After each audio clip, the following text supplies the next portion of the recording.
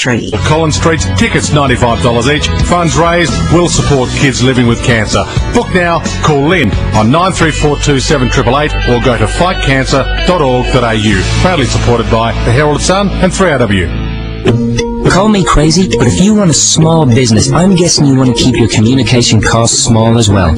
So you're going to love iiNet's new business bundles. All standard national and local calls are included.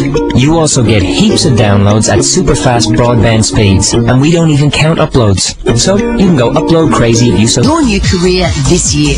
Do what I did and get qualified with the Institute. They're first in fitness courses and careers. You could be eligible for state and federal funding for this course. Hit or call 1300 669 669. Back in 2012 and bigger than ever, it's the 21st Grampians Grape Escape. Discover Western Victoria's finest food and wine producers with live music from Monique Brumby and loads of family fun, all in the heart of the beautiful Grampians National Park. Catch cooking demonstrations by celebrities